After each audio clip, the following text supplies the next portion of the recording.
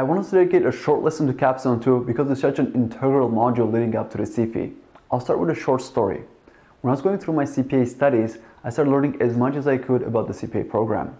I learned about the core modules, the electives, and the capstones. I remember reading somewhere that Capstone 2 is essentially the easiest module of them all. In fact, I remember reading that Capstone 2 is a voluntary module. It's got no exam, the solutions are immediately available, you don't really have to put any effort into it. That was so wrong. I realized that strong candidates use Capstone 2 wisely. They know the resources they receive and practice practicing Capstone 2 are so integral to passing the CFE. So what are those resources? Well, you get a live workshop, you get lots of practice cases, you get some of your cases marked by the National Marking Center, and you get a mock CFE, which is essentially a three-day case writing process which closely simulates the actual CFE. But unlike CFE, you do it at home. Most candidates develop their writing style and reach their peak performance at around week 4 of Capstone 2.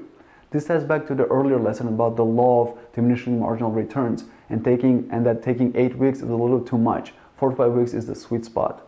Two last things about Capstone 2, no pun intended. First, it's a good time to start practicing with the exam software so you're comfortable with the lockdown mode of the exam. I suggest starting at around week 5 of Capstone 2.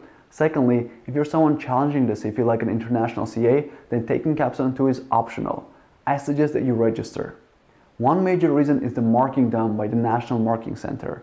They're a team of select CPA Canada trained markers and the feedback, feedback they give you is very valuable. It's more in-depth than anyone else can give you. That's about it for Capstone 2. Let's take a look at why candidates succeed and why they fail next.